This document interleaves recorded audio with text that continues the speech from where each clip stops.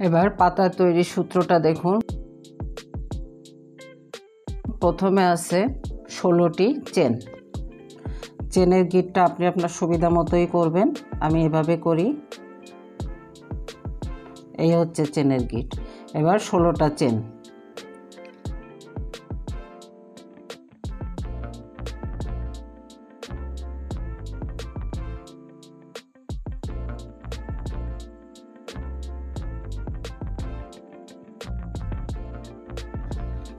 এরপরে দেখুন অ্যারো চিহ্ন দেওয়া এই পাশে যাব আমি।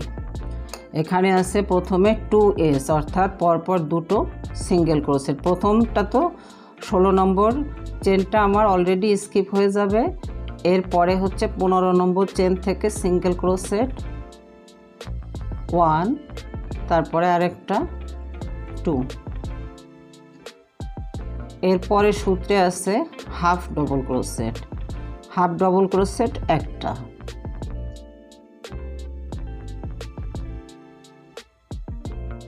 তারপরে আছে নয়টা double crochet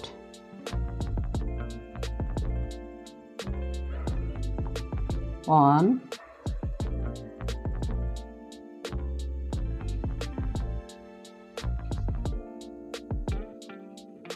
Two.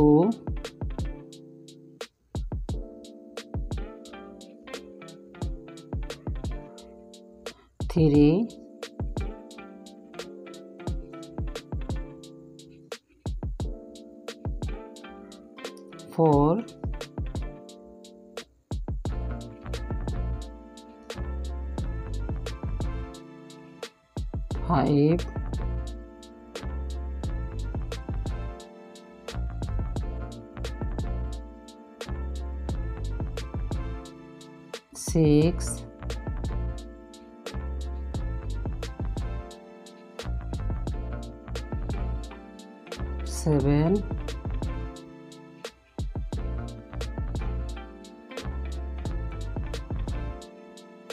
eight,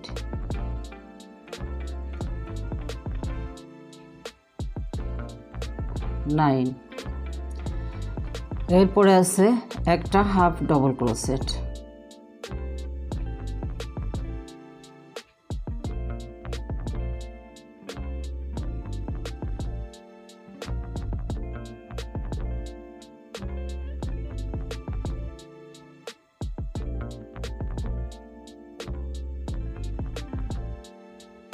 তারপরে আছে একটা single crochet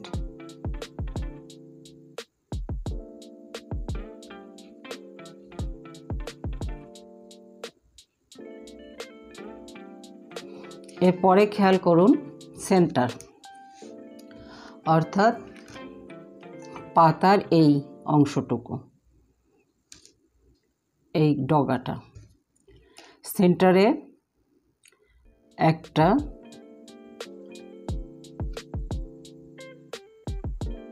single crochet plus chain আবার একটা সিঙ্গেল ক্রোসেট এরপরে এবার আমি এইভাবে ঘুরে আসব।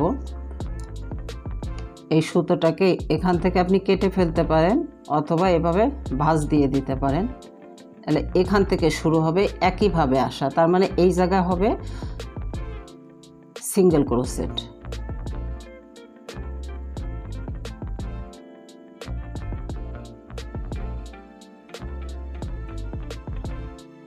তারপরে আছে হাফ ডবল ক্রোসেট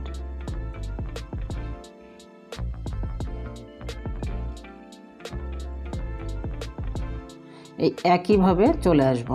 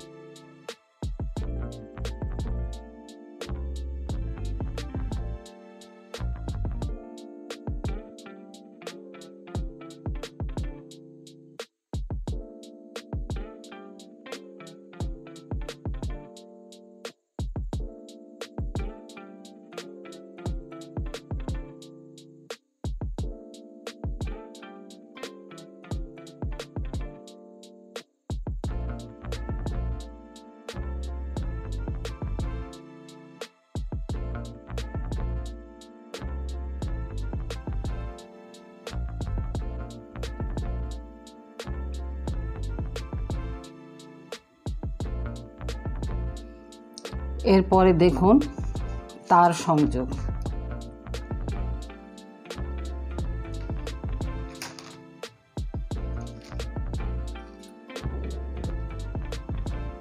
এই তারটা অনেক চিকন।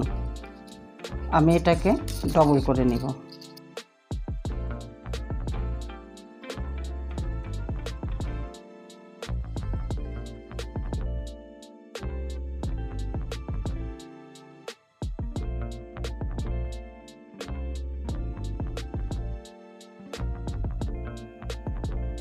তারটা প্রায় ষোলো ইঞ্চি লম্বা আছে।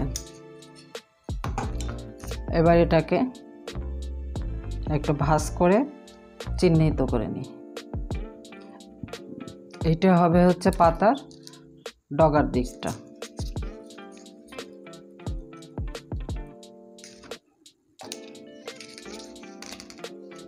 তার সংযোগের পরে আমার লাস্ট যে রাউন্ডটা আছে, প্রথমে আছে ক্লোজ আচ্ছা ক্লোজটা হবে হচ্ছে ওই যে ষোলো নম্বর চেন যেটা স্কিপ হয়ে গেছিল, ওই চেনেরটাই হবে হচ্ছে ক্লোজ এই হচ্ছে ক্লোজ তাহলে এই আমি তারটাকে এর ভিতরে দিয়ে দেব।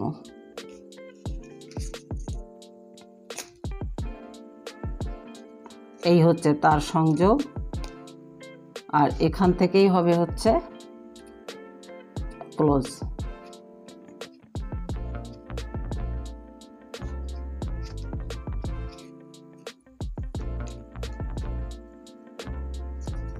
কাজের সুবিধার্থে তারটাকে এভাবে একটু বাঁকিয়ে নেন।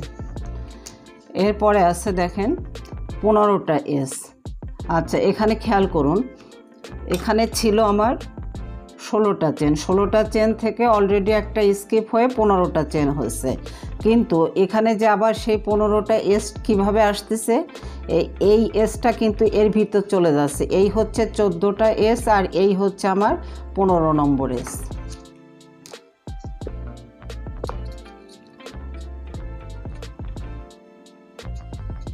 প্রথমে কাঁটাটা তারের নিচ দিয়ে নেবেন। তারপরে সুতা টান দিন। এই।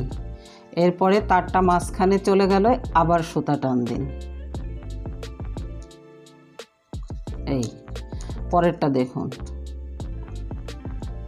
তারের নিচ দিয়ে কাটা দিয়ে সুতা টান দিলাম। তার মাঝখানে চলে গেল, আবার দ্বিতীয়বার সুতা টান দিলাম।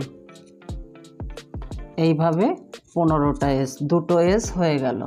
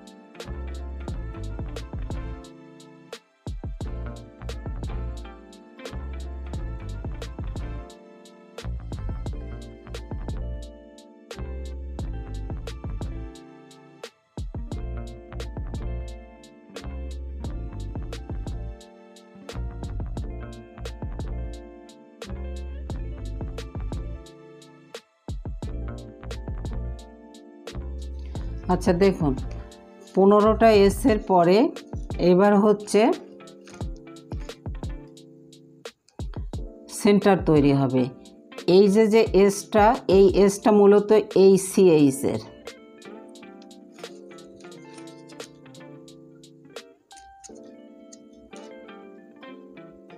এই হচ্ছে সেই সিএইচ মানে চেন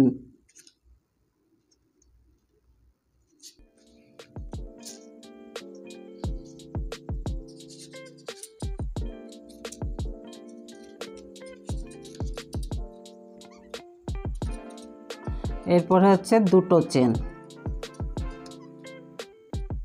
তারপরে দুটো স্লিপ স্টিচ।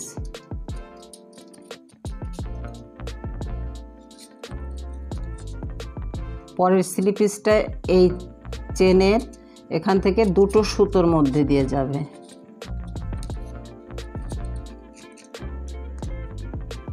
তারপরে আরেকটা চেন। সরি আরেকটা স্লিপিস এই সিঙ্গেল ক্রোসেট এবার আপনি তারটাকে বাঁকা করে নিন।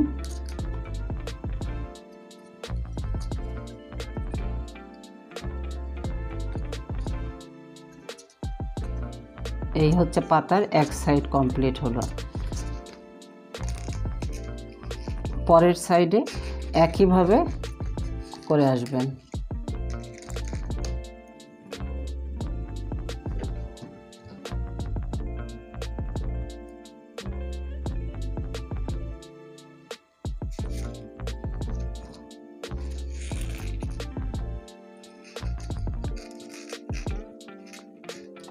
তাহলে পরের সাইডে আবার আমার পনেরোটা সিঙ্গেল ক্রোসেট একইভাবে।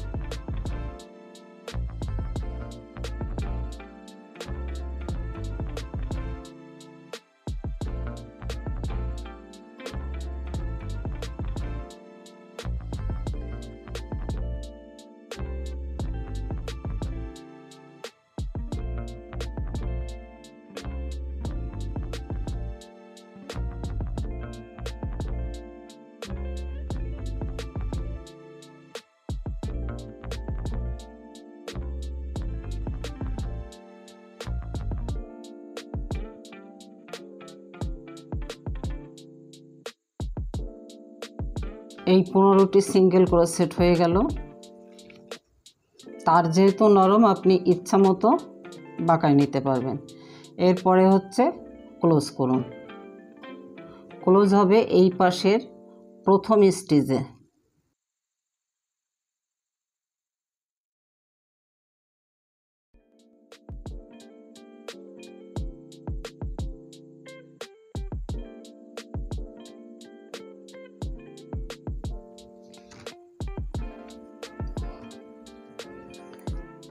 আপনার সুবিধা মতো পাতাটার তারটিকে বাঁকায় নিন।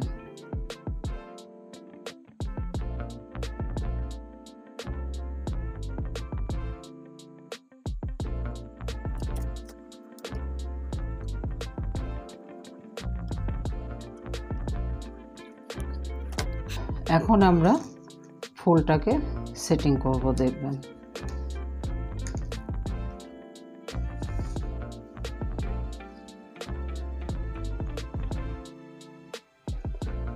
সুতাতে কিছু আঁশ থাকে, আঁশগুলো এভাবে পোড়ায় দেবেন। আপনার উলে আরও বেশি আঁশ থাকে, সুতাতে একটু কমই থাকে। এই সুতাটাতে বেশি আঁশ।